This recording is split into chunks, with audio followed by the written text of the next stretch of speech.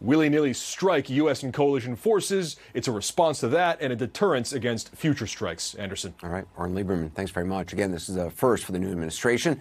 Our Kaitlan Collins at the White House for us. So, any word from the White House on these strikes?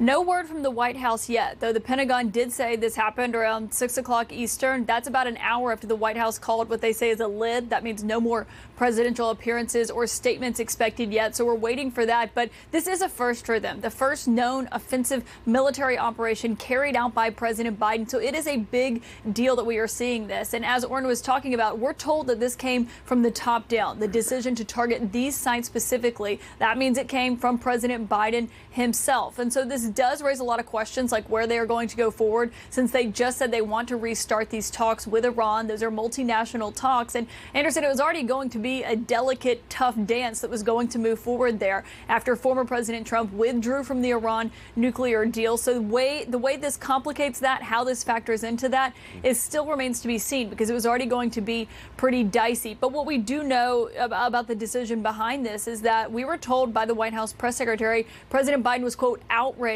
by those rocket attacks in Iraq. We know that yesterday he spoke with the prime minister there. They vowed to hold those accountable, and so that seems to be what they were trying to do here tonight with this.